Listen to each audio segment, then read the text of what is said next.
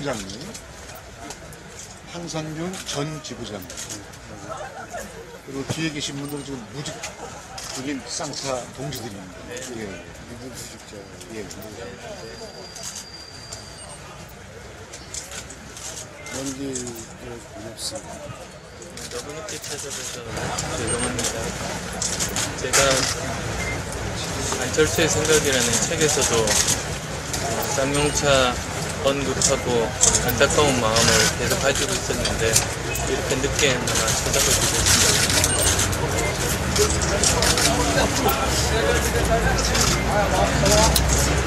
이렇게 억울하게 수생을 주고받고 네, 그분에 대한 진상을 밝히고자 여태껏 오늘 3년을 넘게 고생했습니다. 근데 지금 아시다시피 음, 밝혀지는 거 없고 계속 사람이 있고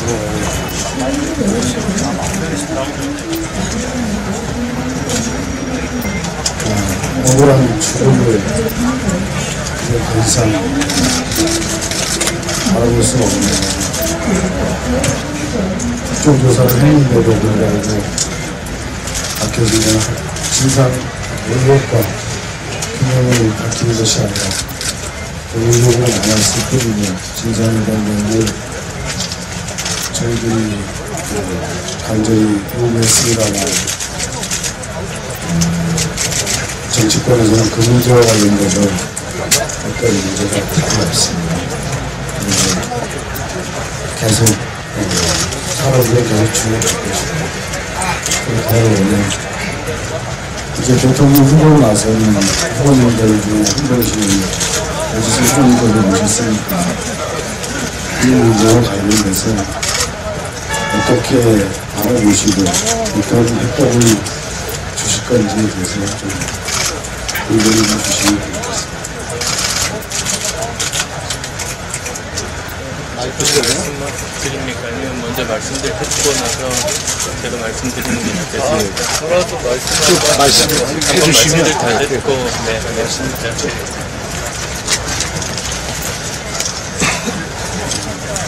오늘 뭐 멀지 않는 길인데 참 오랜 고민 끝에 들린 걸로 이렇게 저희는 받아들이겠습니다. 그래서 지금 현재 깜짝 문제의 여러 가지 문제들은 상당히 이제 어, 이 나라의 화두 속에 지금 되고 있습니다. 정례구가 이렇게 쉽게 돼서 되겠느냐? 그것이 과연 경제 민주화냐에 대한 분명한 입장들이 좀 필요할 것 같습니다. 여러 가지 지금 경제 민주화를 이야기하고 있지만 부조화 비롯한 노동자들의 문제에 대해서는 명쾌한 답변들이 없는 것 같습니다. 그리고 쌍차 문제들에 대한 진실들이 저희는 동정을 바라지 않고 있습니다.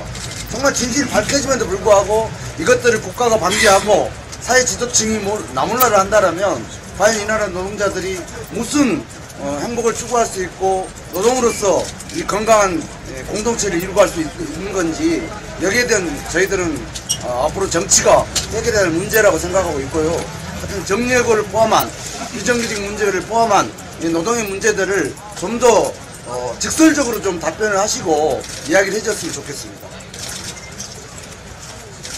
예, 아마 여기 오시기 전에 좀그 쌍촌집 상황을 좀 들으셨겠죠.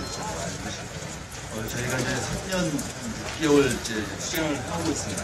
그러니까 돌이켜보면 2009년도 이제 저희가 5월 22일 날, 어, 국민에 와서 이제 함께 살기 위해서 투쟁을 시작했는데, 어, 돌이켜보면 근 한 3년을 저희 문제를 수면에 풀지 못했어요. 올해 이제 2012년도에 들어와서 아, 사회적 관심이 모아지고 그리고 그런 신들에 의해서 사실 이제 청문회가 9월 20날 이루어지긴 했는데요. 아, 청문회 과정에서 어, 그동안 이제 저희가 상하이 자동차로 이어졌던 이 기술 유출 문제 그리고 이들이 기획 파산에 의해서 먹혔던 문제 그리고 이어졌던 핵계 조작 위한 그리고 정리하고 구조정리 했다는 것에 대해서 저희가 줄기차게 외쳐갖고 그것에 대한 진실을 알려달라, 파악해달라, 확인해달라 이렇게 했는데 사실 계속 외면이. 그래서 이것이 어, 근 3년 만에, 3년 6개월 만에 사실 이것이 사회적 쟁점이 되는 그 과정에서 저희들 아까 지장님 얘기처럼 세 분이 돌아갔습니다. 가족 포함 동일이 돌아가셨는데 어쨌든 죽음을 막기 위한 절박함 때문에 저희가 이제 노숙농성을 한 시가 지금 1년이 다 되고요. 작년 12월 7일부터 저희가 희망텐트라고 해서 쌍체 정문 앞에서 어, 희망텐트를 치고 그리고 19번째 죽음이었거든요. 그때. 그래서 죽음을 우리가 기다릴 수 없다. 막아보자 해서 이제 절박한 힘을, 사회적 힘을 좀 모아보자 이렇게 해서 시작한 것이 내일 모레면 이제 1년이 다 돼가요. 근데 이제 그 과정에서 안타깝게도 이제 20번째, 이제 23번째까지 이어지는 죽음이 되었고, 22번째 이제 떠나갔던 우리 동료의 죽음을 안타까우면서 저희가 이 분야문으로 대학문으로 좀 올라왔거든요. 7개월이 됐습니다. 지 7개월이 됐고, 또 그 과정에서 저희가 어, 어쨌든 야권보다 여, 여당이 어떤 지금 현재 새누리당과 박근혜 후보를 상대로 해서 저희가 새누리당 앞에 농성을 한 3개월째 진행하고 있어요. 핵심은 국정조사를 좀 해달라. 그래서 이래저래 사업보들 모두 다안 풀리는데 이 쌍차 문제에 대한 진실이 풀려야 이 억울한 죽음을 계속 우리가 어, 명예도 찾든 어쨌든 향후의 죽음들을 막을 수 있는 거 아니냐라는 이유들 때문에 저희가 3개월 넘게 이제 하고 있는데 사실 이제 모수단이죠. 그리고 청문회 이후에 국정조사가 안 되고 있고 여전히 저희들 이제 국정조사가 돼야 된다. 그래야지 뭔가 이 진실이 밝혀지고 이 쌍차 문제에 대한 해법을 찾는 데 첫 단초가 되지 않겠나. 그래서 그래서 뭐 지금 이 시간에도 그래서 안타깝게 뭐 진정경고는 14일째 지금 단식을 하고 있습니다. 꼭 국정조사를 요구하는 것이 아니라 이제 쌍용차 문제에 대한 해결을 좀 해달라는 이런 절박함을 가지고 현재 이제 어, 단식을 좀 부탁하고 있는데 그래서 좀 안타깝고 옆에 지금 그래서 오늘 오신 김에 이래저래 좀 말씀을 향후에 좀 쌍용차 해법에 대해서 좀 저도 이제 기대를 좀 하고 있는 제가 말씀을 해주셨으면 좋겠습니다. 쌍용차 문제 상황 실장을 뭐 아시겠지만 삼성 자동차 문제 해결을 위해서 각계가 다 나서고 있습니다. 종교인들이 지금 이 문제 해결을 위해서 나서고 문화예술인, 그다음에 시민사회단체, 문화할 것이 다 나서고 있는데 이 문제가 이제 이렇게 이제 오는 것은 나서야 할 사람들이 이제 안 나서질 수가 있고 이 중에 하나가 이제 정치권이거든요. 사실 이게 쌍용차 문제가 뭐한 사업장의 문제 이렇게 돼 있지 않기 때문에 사회적으로 해결이 되어야 되는데 그 정치적인 문제. 3년 만에 뭐 아까 여러분들이 말씀하신 뭐 10분의 정도가 됐는데 사실 저희들이 보기에는 국내에서 보면서 공공자동차의 진실이라고 하는 건 많이 밝힌 게 있다고 생각합니다. 그렇지만 이 문제가 자연스럽게 해결해야 되기 때문에 정치권에서 국정조사 같은 거 이런 문제를 가지고는 그런 이제 정치권을 풀어야 되는 문제라는 걸 보여주고 있고요. 오늘 후보님께 보셨으니까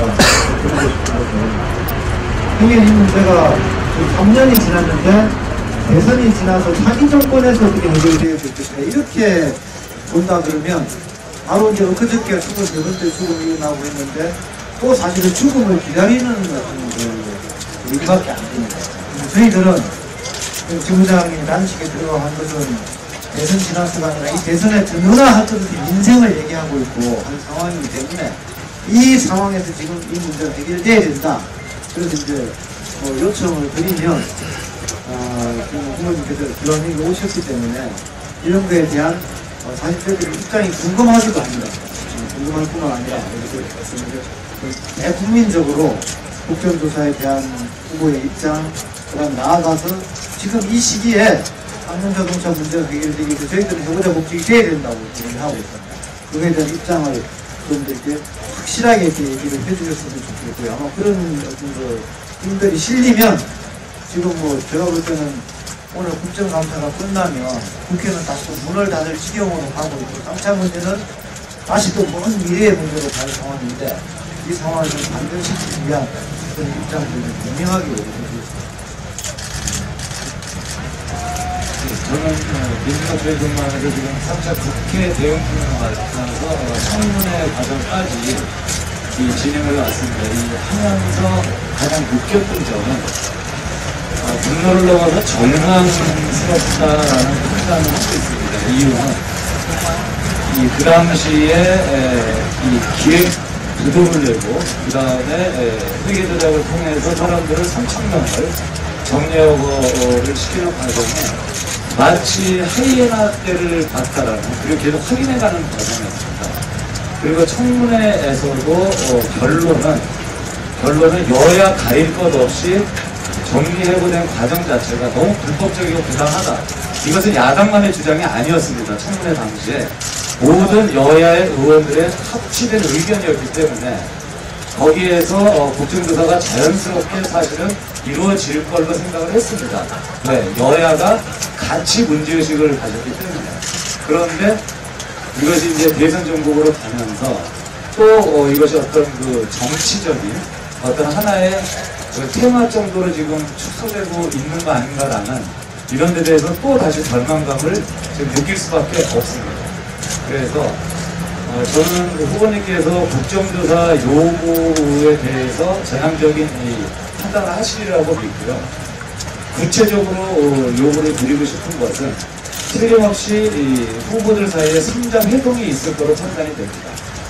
그 3자 회동이 있을 때이 문, 이 의제를 단순한 정치적인 어떤 하나하나 사안을 넣고 빼는 이런 방식이 아니고 이것은 아까 많은 분들이 말씀을 하셨지만 현재 그나마 청문회도 이루어지고 아르버님도 이렇게 방문하시고 해서 23번째까지 억지로 어, 죽음이 막혀 있지만 여기에서 희망이 없다라고 판단이 되는 순간 어,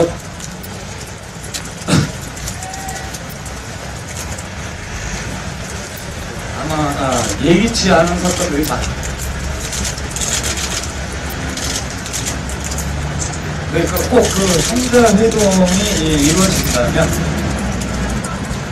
그 부분을 그 정확하게 예, 중요한 의제로 가장 핵심적인 의제로 잡아서 어, 관철을 시켜주시기 네, 특별하면 뭐 이렇게 너무 찾아오신 것에서 환영하는 바입니다. 저는 그 사차 주구의 조직실장 양영근입니다. 앞서서 우리 동지들이 말씀드렸듯이 지난 청문회 과정에서 이 중국과 한국의 이 쌍차의 문제는 본질적인 문제는 기술 출현 문제였던 것이 청문회 통해서 밝혀졌습니다. 그래서 기획부도와 또한 회계 조작에 의한 이러한 부분들이 일정 정도 밝혀졌다고 보여집니다. 하지만은 사실 저쪽에서는 이 나라 모든 쌍차의 문제는 이 나라 국가 권력들이 권력의 정부 기관들이 다 개입된 사건이 이미 청문회에서 밝혀졌습니다. 이것을 더 명확히 청문회 하루로서 밝혀지지, 밝히질 다 못했습니다. 하- 하지만은 이 문제를 그래서 저희는 국정조사를 통해서 이 나라 국민들이 얼마나 억울하면은 이렇게 23명의 아마도 이 사회에서 무슨 전염병으로 한 명의 노동자가 누가 죽었으니 국민이 죽었다고 하면은 아마 이 나라 언론이고 아마 지도층이고 이 사회적 난리가 났을 것입니다. 하지만은 한 사업장에서 이런 국가 권력에 의해서 처참히 짓밟힌 이런 노동자들의 이런 실상을 모두가 도외시하고 해서는 안 된다고 보입니다. 우리 후보님도 국민을 위해서 이루기 위해서 이런 노동의 현장을 또 직접 찾아오신 것으로 알고 있습니다. 이러한 억울한 노동자들의 죽음에 대해서 더 이상 이제 막아야 되지 않겠습니까? 저희 14명까지 죽어갈, 노동자 가족들이 죽어갈 동안 이 사회는 모두가 외면했습니다. 하지만 이 죽음이 끊이질 않고 저희는 이 죽음에 대해서 사회적 타살이라고 합니다. 국가 그 권력에 의한 노동자들의 학살이라고 저희는 단정 짓고 있습니다. 그리고 이 과정들이 이미 속속들이 밝혀지고 있고 이것을 물론 우리 후보님 캠프에는 직접적인 그 현직 의원님들이 많지 않지만은 이 부분들을 국정조사를 통해서 분명히 진실을 밝혀야 된다. 그래서 그래야만이 이 노동자들의 지금 쫓겨나 있는 수많은 3천 명 되는 노동자들의 그 억울함을 명예 회복부터 시켜줘야 된다. 그래야 이 노동자들이 사회에서 받아주고 안아줬을 때 과연 이 죽음을 막을 수 있지 않겠나 이렇게 생각을 합니다. 그래서 그 후보님이 이 노동관에 대한 이 자리는 쌍교회체 22명의 영정이 모셔있는 자리지만은 지금 울산에서도 철탑에서 수십 미터 철탑에 올라가 있고 또 이교대를 막자고 한 유성기업 동지들이 또 농성, 고공농성을 하고 있고 이러한 노동 문제에 대해서 우리 후보님의 좀 의사 이런 노동관계에 대해서 입장을 좀 명확히 좀 듣고 싶은 것이 저희 입장입니다. 사장님. 제가 다 말씀 아, 예, 예, 예. 네, 반갑습니다. 여기 방문해 주셔서 저는 쌍자차 누구주차 대표 이성호입니다. 어, 우리 쌍자차 사태 같은 경우는 기획 파산에 의한 정부 강력 진압으로 노사가 합의로 끝날 수 있는 사항을 이렇게 중국으로 몰아놓은 모든 정황과 근거가 청문회라든가 기타 여론, 언론을 통해서 밝혀졌습니다. 이 싸움의 진정한 주구는 이명박 정부라고 생각합니다. 우리 후보께서 꼭 이번 대선에 꼭 승리하셔서 이번에는 이제 노동자 편에서 어, 집행할 아, 권력을 활용할 수 있는 그런 방법을 찾으시길 바라며 이 부분은 분명히 정부가 노동자를 죽인 그런 사태이지 국제적으로 회사가 망해서 벌어진 이런 사태라고 생각하지 않습니다. 지금도 그렇고 그래서 그 후보님의 그 어, 우리 그 노동자를 위하는 그런 노동자를 위해서 하는 정책을 펼쳐주길 바라겠습니다.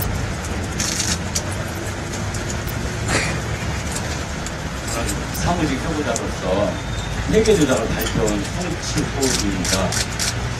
다름이 아니었고 답변하시는 데 조금 도움이 될 것 같아가지고 사실 관계를 몇 가지만 말씀을 올리겠습니다. 아, 쌍용자동차 사태 진실규명을 해오면서 드러난 문제가 법정 관리 하에서 재산 평가를 하면서 재산을 누락을 했다든지 에, 개차 대표를 짜면서 날조를 했다든지 그런 사실관계는 많이 드러나 있습니다. 그, 그것과 더불어 가지고 그, 법적으로다 저희들이 재판을 진행 중에 있기 때문에 법원에서 판결이 나게 되면은 저희들이 당연 복직되는 것은 기존 사실로 보여지나 그때까지 시간이 너무 멀리 있습니다. 그런 문제가 시간이 멀리 있다는 문제가 하나가 있고요. 그 다음에 지금 에, 돌아가신 분은 23분이지만 타인이 법칙에 의해 가지고 그 산재 예, 그 환자 수를 계산하는 걸 보게 되면은 약 650여 명이 지금 생과 사에서 갈등을 일으키고 있고 자살 일부 직전에 있습니다. 그러한 심각한 문제가 있기 때문에 쌍용자동차 문제에 대해 가지고 좀 보다 어, 적극적으로 좀 도와주셨으면 하는 그런 소망이 있어가지고 잠깐 말씀 올렸습니다.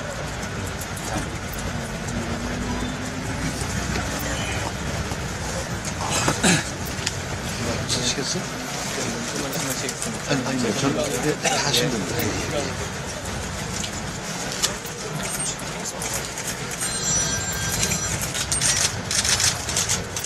제가 9월 19일 날 출마 선언을 했는데요. 사실은 9월 20일 할 생각이었습니다. 그 원래 민주당 경선 민주당 후보가 발표된 이후에 사흘 정도 시간을 드린 다음에 목요일 날 이제 출마 선언을 하기로 내부적으로 이제 그 생각을 했었는데요. 그날 청문회 쌍용자동차 청문회가 있다는 소식을 듣고 출마 선언을 하루 당겼습니다.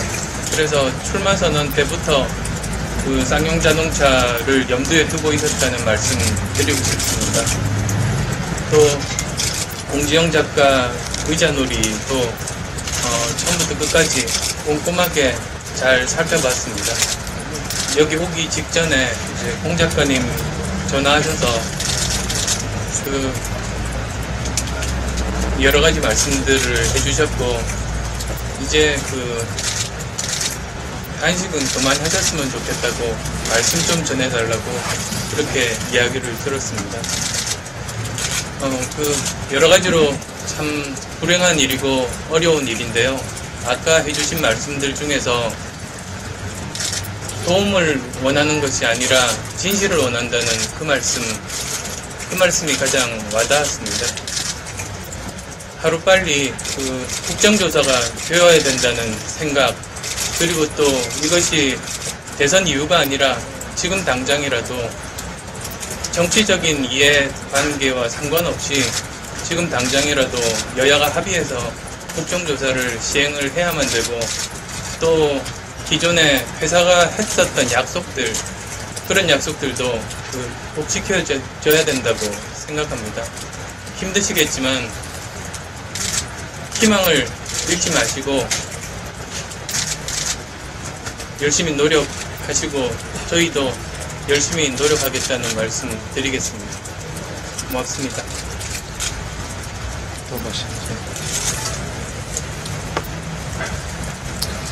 고맙습니다. 의자를 보시고 음, 또 보셨다니까 저희들의 마음을 같이 공감하신다고 느끼고요.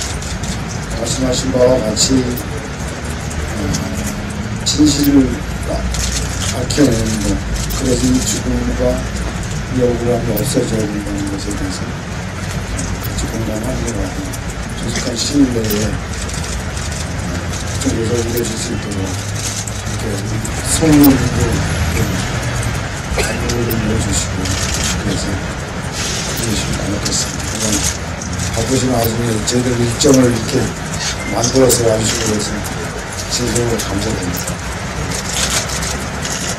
만약에 후보로 추대가 돼서 가신다 하더라도 건강하게 좀 완주하시기 바라겠습니다.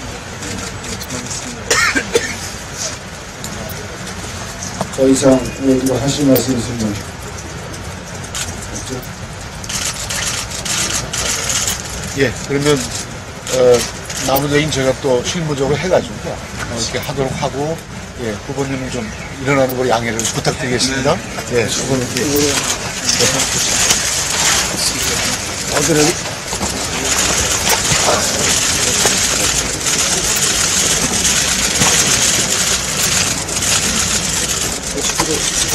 경력 경력 한번 예.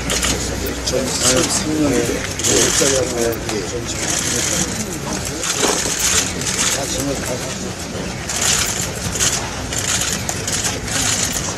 전달 최종 사회 시장이 전달 최종 사회인데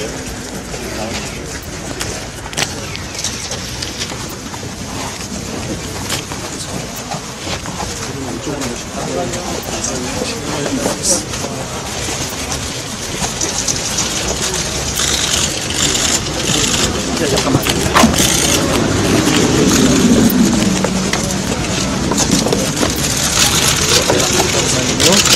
아침에 가서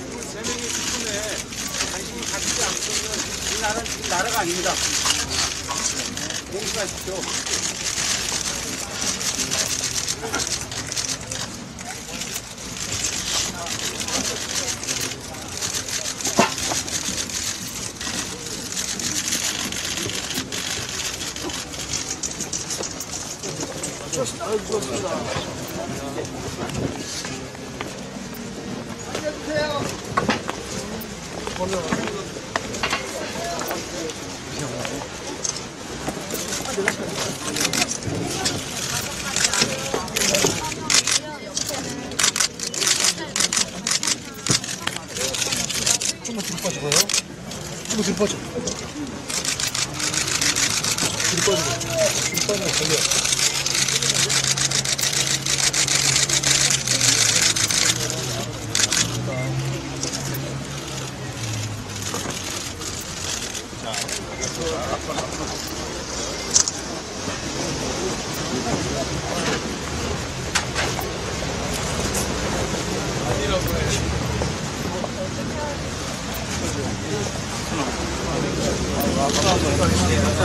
예, 예, 예, 괜찮습니다. 예.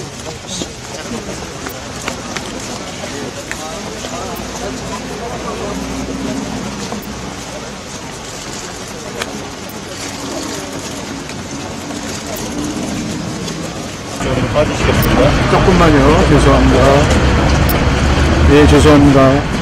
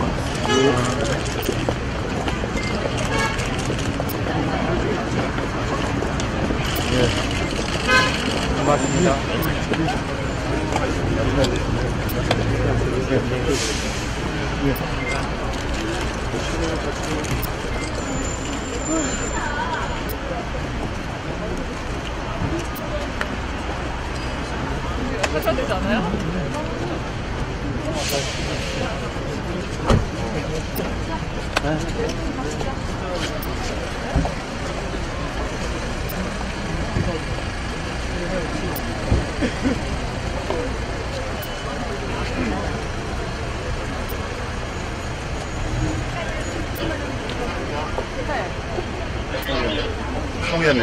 여기로 들어갔고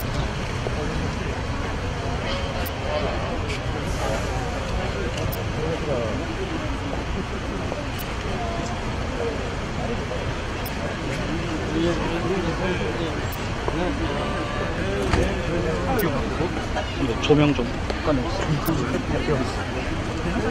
조명 없이 할까요? 그대로 꺼내서 결합만 하면 돼요, 결합만.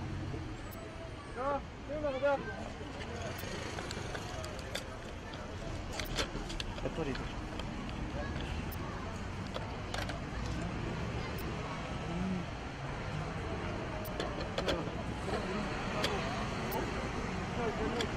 와이어리스로 바꿀게요.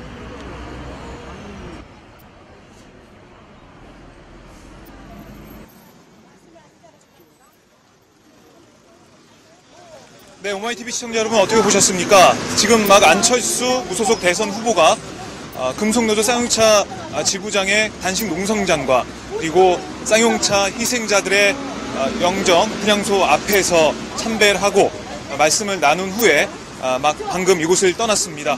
안철수 후보 오늘 그 분향을 하기 전에 방명록에 이렇게 적었습니다. 더 이상 안타까운 죽음이 없기를 바랍니다. 남아있는 분들께 희망을 드릴 수 있도록 노력하겠습니다. 하고 적은 다음에 어, 절을 하고 어, 분양을 한 다음에 김정우 지부장과 함께 얘기를 나눴고요.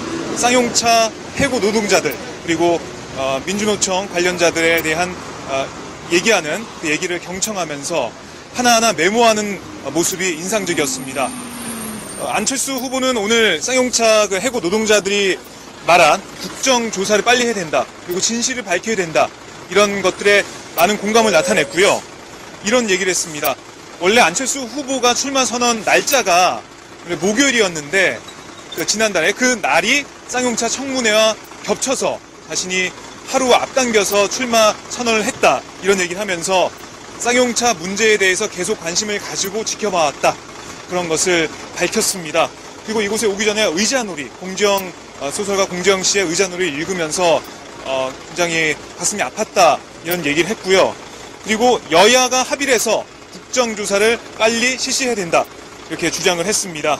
그리고 마지막으로 힘들겠지만 희망 잃지 말아달라 그리고 자신도 열심히 노력을 하겠다 이렇게 말을 마치고 어, 김정우 지부장과 인사를 나누고 밖으로 나와서 또 바깥에서 동조 단식을 하고 있는 시민들을 만나 악수를 하고 또 거기 관련된 서명을 하면서 쌍용차 문제 해결에 노력을 해야 된다 이런 것을 다시 한번 다시 한번 강조를 했습니다.